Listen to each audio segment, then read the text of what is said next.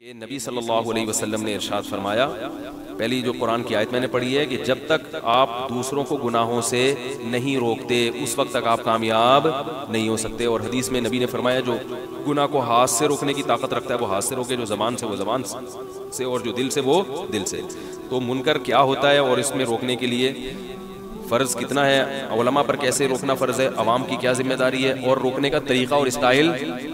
क्या होना चाहिए? लोग यहाँ बहुत बड़ी गलती करते हैं।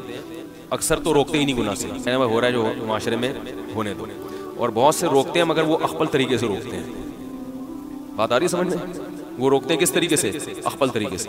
अकबल तरीका नहीं चलेगा। शरीयत ने रोकने का तरीका भी बताया मूसा सलाम को जब अल्लाह ने फिरौन के पास भेजा तो गुनाह से रोकने के लिए भेजा, और तरीका भी अल्लाह ने खुद बताया। बात आ रही समझ में? हालाँकि वो तो पैगंबर थे, वो कहते अल्लाह, ठीक है, तूने बता दिया, मैं जा रहा हूँ, मैं अकबल तरीके से रोकूँगा, जैसे मेरे समझ में आएगा। अल्लाह ने फरमाया इला फिराउन फिरौन के पास जाओ क्या क्या कहना है, ये भी बता दिया।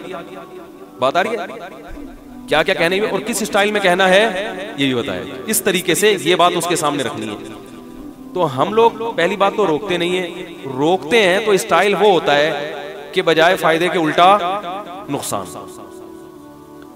तो ये और फिर रोकने के मखसूस तरीके हमने रखे हुए हैं इस तरीके से रोकूँगा, दूसरे तरीके से नहीं रोकूँगा। हालाँकि किसी को दीन पे लाने के सैकड़ों तरीके हैं। उन तरीकों की भी आपको पहले बैठ के सिलेक्शन करनी पड़ेगी, कौन सा तरीका यहाँ सूटेबल है।